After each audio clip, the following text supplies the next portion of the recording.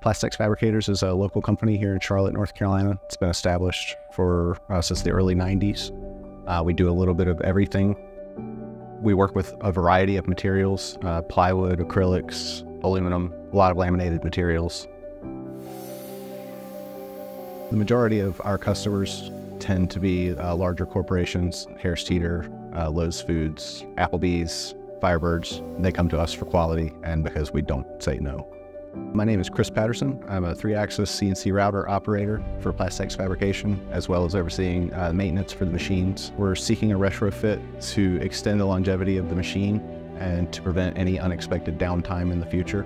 This machine specifically is primarily used for uh, cutting a lot of gator foam letters and things like that for signs, a lot of intricate details. Uh, the upgraded hardware will be quite nice, and switching over from B&R to Fanuc, uh, they have better part availability one of the reasons that we went with the retrofit and decided to stick with CR Onsrud is because we know they will provide us with good customer service and prompt tech service in the future if we need. Knowing that CR Onsrud works with Fanuc provides us with peace of mind uh, because we know Fanuc is such a reputable large company and if we do run into problems down the road, we know it'll be addressed promptly.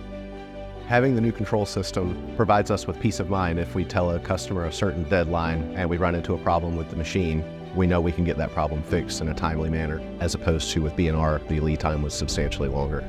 So with the retrofit, uh, I should be able to produce quite a bit more daily. Faster feeds and speeds equals more products coming off the table. It was a pleasure working with CR Onsrud. Their engineering team, their parts department, and their sales department were very knowledgeable and efficient and pleasant to communicate with. Everything went smooth. They actually managed to complete the retrofit one day sooner than they had quoted originally, which was fantastic.